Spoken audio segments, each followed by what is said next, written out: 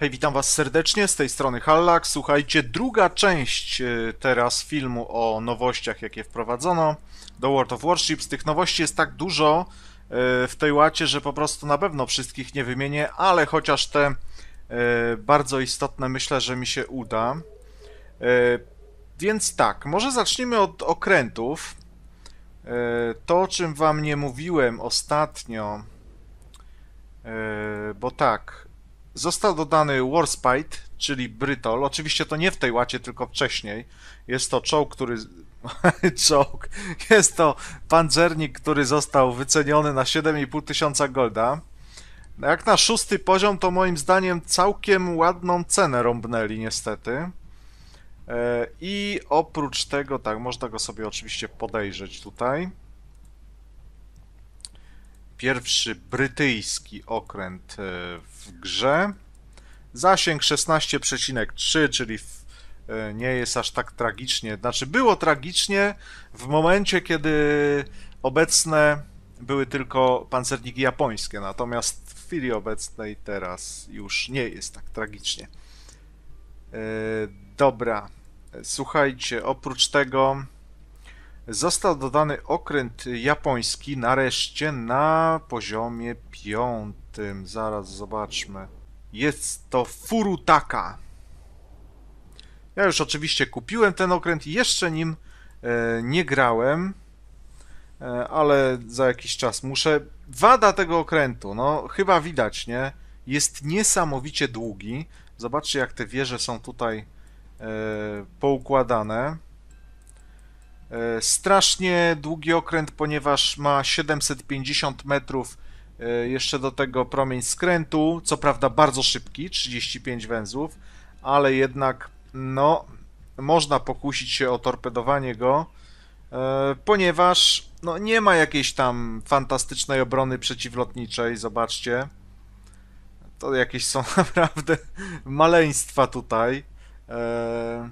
Także spokojnie torpedowce mogą go atakować, chociaż no ta prędkość na pewno będzie przeszkodą.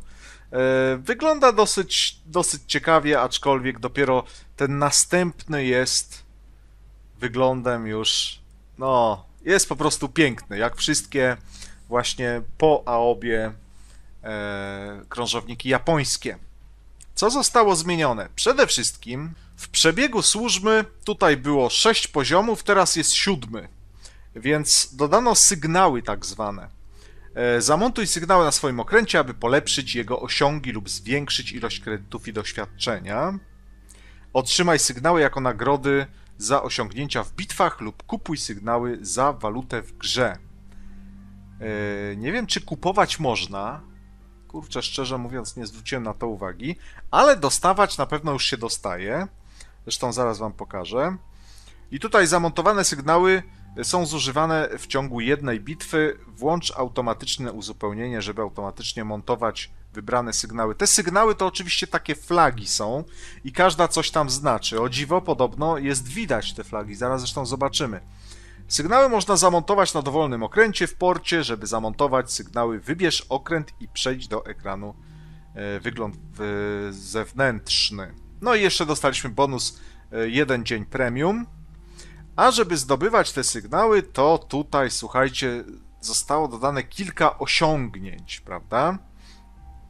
Więc mamy za różne rzeczy, na przykład zniszcz kilka samolotów wroga, przynajmniej 30, no 30 to nie kilka, w jednej bitwie i wtedy dostaje się tutaj e, odznaczenie. Tutaj na przykład, zobaczcie,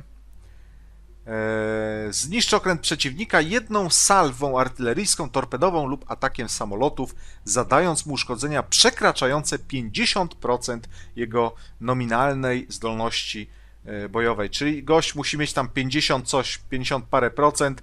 Walimy salwą na przykład, gość zalicza zgon i my dostajemy to odznaczenie. I oprócz tego tutaj jeszcze jedno i za to jest właśnie jeden z tych sygnałów to tylko draśnięcie się nazywa.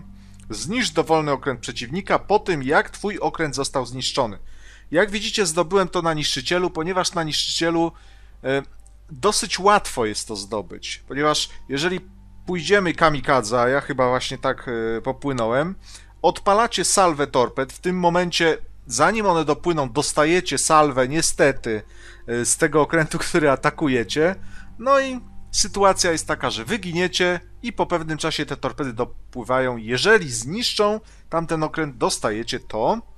I tutaj e, raz na 24 godziny to można zdobyć. Jest to dodatkowa nagroda, ten sygnał, i zaraz Wam pokażę, cóż to takiego. Otóż wygląd zewnętrzny jest.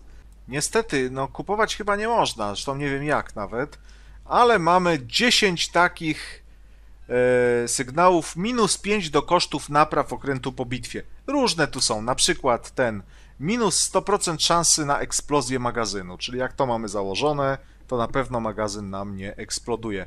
E, cały szereg tego, możemy włączyć automatyczne uzupełnienie. Ja sobie to może wrzucę, o, zazwyczaj na jakiś... Drogi w naprawie okręt, niech to będzie w moim przypadku Nagato. No zobaczymy, czy to się pojawi, uwaga. Tak. A ciekawe, czy jak taki kliknę. No nie, musiałbym otrzymać. I zainstaluj. Proszę bardzo.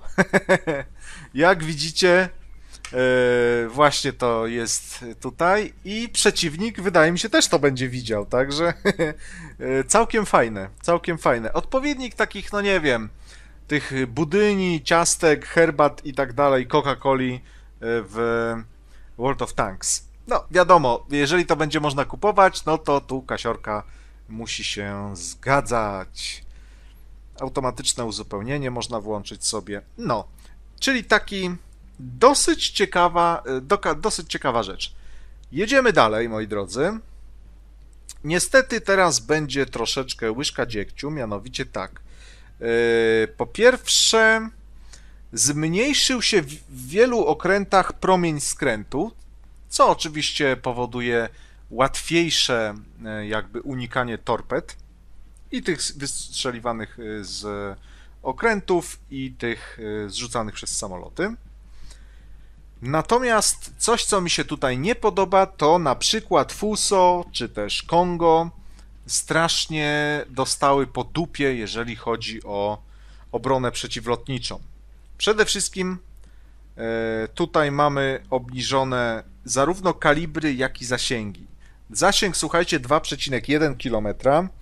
No to jest masakra. To, to, to jest taki zasięg, który dopiero mm, uruchamia te urządzonka w momencie, kiedy atakują nas na przykład samoloty bombowe typowe. Natomiast torpedowce, no, nie muszą wcale na taką odległość się zbliżyć. E, czyli mamy tutaj sporo tego i to jest często bezużyteczne. Jedyna rzecz, która tutaj jest, a to jest wymaksowany okręt, użyteczna, to są te działka 25 mm, które mają zasięg 3 km no, plus oczywiście tutaj mamy następne działka, które mają zasięg 3 km, ale od razu powiem, że to jest tragedia po prostu. No to, to ilość tych działek, tu 7 pojedynczych, 2 podwójne, to jest bardzo mało. Naprawdę to jest bardzo mało. Także coś za coś. Dodatkowa zmiana, okręty dostały tak jakby lepsze pancerze. Albo może inaczej, niby zawsze miały te pancerze, tylko teraz zaczęło to działać. Mianowicie strzelając pociskami przeciwpancernymi, odpowiednio jeżeli ustawicie e, okręt, to są po prostu ding-dongi. Miałem wczoraj bitwę, w której zanotowałem e, amerykańskim jakimś, już nie pamiętam jakim, pancernikiem e, 11 trafień, czy, a, je, albo 11, albo 13 i miałem zero obrażeń, rozumiecie? Wszystkie pociski zrykoszetowały. Niestety. E, także no, zaczyna to działać. Ponadto widzę, że jeżeli niszczyciele zaczynają walić, to czasami e, no, dużo częściej po prostu wchodzi za zero. Nie dostajemy obrażeń albo jakieś tam śmieszne dostajemy. Także to jest na duży, duży plus. Dodatkowo zmienione zostały dźwięki strzałów. E, niektóre fajnie brzmią, natomiast kurka wodna, nie odpalajcie sobie Cleveland bo dźwięk, który wydają działa y, z krążownika Cleveland, no nie wiem, co jest podobne do, do, do strzelnicy sportowej. Jak ktoś ma strzelnicę w pobliżu domu, to tam słyszy coś takiego. nastąpiło, słuchajcie, przetasowanie, jeżeli chodzi o lotniskowce amerykańskie. To, co mnie interesuje, co mnie mocno wnerwiło i na co chciałbym zwrócić Waszą uwagę, to jest na przykład lotniskowiec y, poziomu szóstego obecnie, czyli Independence. Bardzo fajna maszynka i teraz Wam, ponieważ ja lotniskowcami y, gram, y, ale tylko myśliwcami, po prostu zdecydowałem, że będę uprzykrzał życie babokom. Nie zdobywa się ani kasy za to do, dosyć, ani doświadczenia, ale zdobywa się satysfakcję. Oczywiście, jeżeli startujemy takim lotniskowcem opartym na myśliwcach i w przeciwnej drużynie nie ma lotniskowca, no to jest kompletna porażka, prawda? No ale yy, na szczęście nie aż tak często się to zdarza. Zresztą niedługo będziecie mieli bitwę, to zobaczycie na czym polega w ogóle moja gra yy, lotniskowcami. Zresztą nawet widzicie, że tutaj nie przeznaczyłem, mimo że mógłbym na samoloty torpedowe doświadczenia, bo po prostu nie gram samolotami torpedowymi. No, i o co chodzi? Słuchajcie, chcę zwrócić uwagę na pewną rzecz. Oczywiście ona jest ważna dla mnie, jako grającego myśliwcami. Otóż tu jest myśliwiec, który ma prędkość przelotową 125 węzłów i ma uszkodzenia na sekundę 36, prawda? Na poziomie szóstym. Niestety, w momencie, kiedy przechodzimy na poziom siódmy, tu jest lotniskowiec Ranger, którego no niedługo postaram się jakoś tam wyekspić, bo nie mam wyjścia po prostu. Jeżeli ja gram szóstką, a jest Ranger i jest oparty na myśliwcach, to po prostu kompletnie nic nie mogę zrobić. Dlatego, że tutaj jest, zobaczcie, samolot, który ma 147 węzłów e, prędkość oraz obrażenia aż większe o 48, czyli 84. Masakra. Nie wiem dlaczego zrobili taką różnicę potężną. Tam 36, tutaj 84. Coś strasznego. Później jest Lexington, który ma 126. Naprawdę. No i później na samym końcu jest Essex, który ma samoloty również 120. Czyli trzeba grać siódemką albo ósemką myśliwcami. Taki z tego morał, niestety. Tak aż duże różnice nie podobają mi się po prostu nie można rozwalić tych eskadr gościowi. Mimo tego, że ja mam dwie, a on ma jedną, to nie mogę mu rozwalić nawet tej jednej. Nawet koncentrując swoje wszystkie samoloty na tej jednej jego eskadrze myśliwskiej. E, dobra, to tyle. To może taka była łyżka dziegciu, która mi się akurat nie podoba. Dodatkowo, no, biedne są te konfiguracje, prawda? Tutaj mamy cztery eskadry, zobaczcie. Nie ma nigdy takiego takiej kurcze kombinacji, żeby były i myśliwce, i torpedowce. Bez bombowców. Jedynie tutaj, no, ale za to mamy jedną eskadrę mniej, prawda? Jedna myśliwców, jedna torpedowa, jedna bombowa.